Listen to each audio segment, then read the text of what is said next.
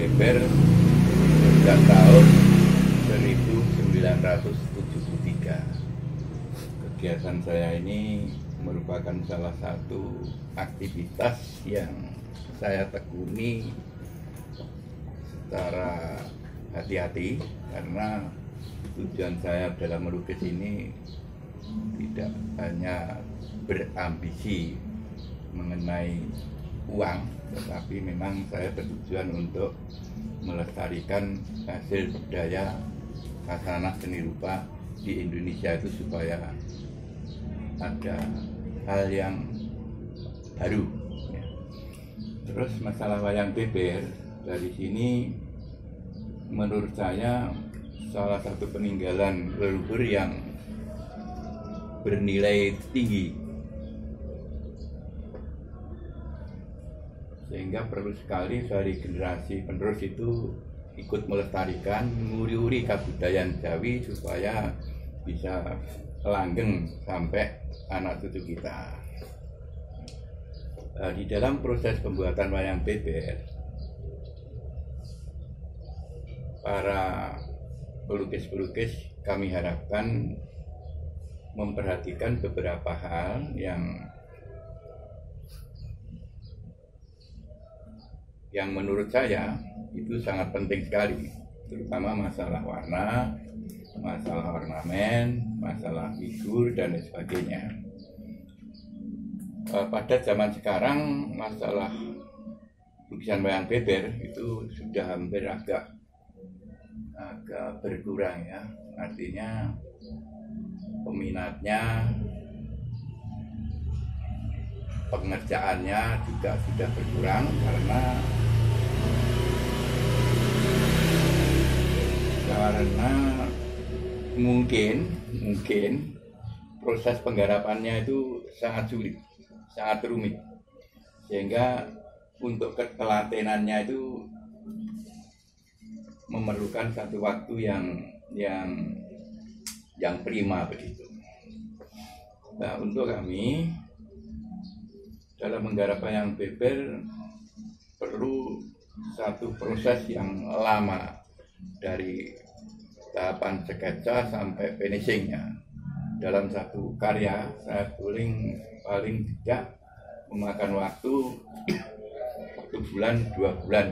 Itu ukuran kurang lebih satu setengah meter pan untuk perkembangan lebih lanjut dalam lukisan wayang beber saya sendiri sekarang sudah mengembangkan dari bentuk-bentuk yang asli bentuk-bentuk yang yang lebih lebih menurut saya lebih bagus artinya saya juga melayani para pemesan bahwa warna itu harus disesuaikan dengan warna-warna yang dominan dengan warna interior dari ruangan yang mereka miliki.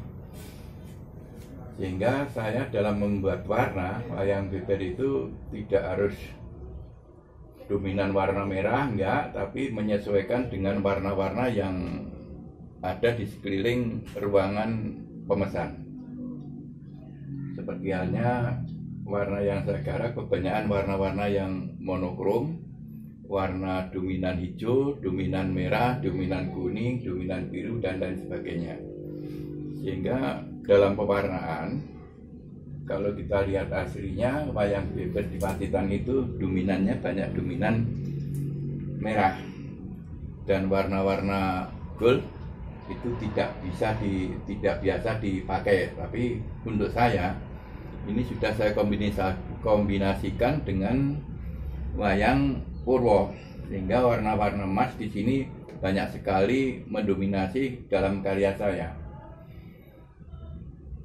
Itu masalah warna terus masalah ornamen kalau kita lihat secara keseluruhan ornamen pada wayang beber itu sebetulnya ada tiga ada tiga tahapan yaitu satu penggambaran dunia bawah, dunia tengah, dan dunia atas.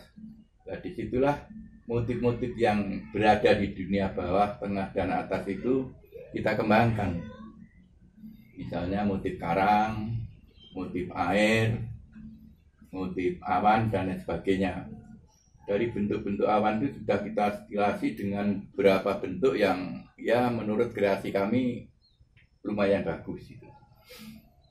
Terus karya-karya kami banyak mendominasi masalah hiasan-hiasan yang bertumpuk yang berbentuk motif tumpal motif awan, motif air, motif bangunan, atap, sirap, dan lain sebagainya.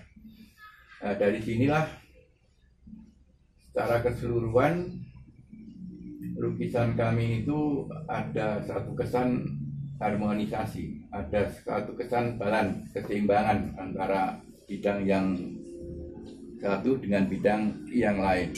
Sehingga di situ tidak kami biasakan ruang-ruang yang kosong semuanya terisi dengan gurisan-gurisan atau detail-detail warna yang kami ciptakan. Nah, secara keseluruhan finishingnya dari pembuatan wayang beber saya itu selalu memakai detail garis titik garis titik sehingga setiap bidang itu saya selesaikan dengan satu bentuk-bentuk garis dan titik sehingga kesan secara keseluruhan dari lukisan kami itu kelihatannya rumit begitu. Saya rasa itu pengertian kami dengan wayang beber kurang lebihnya saya apa adanya ya dalam menggambar itu kemampuan saya demikian demikian itu.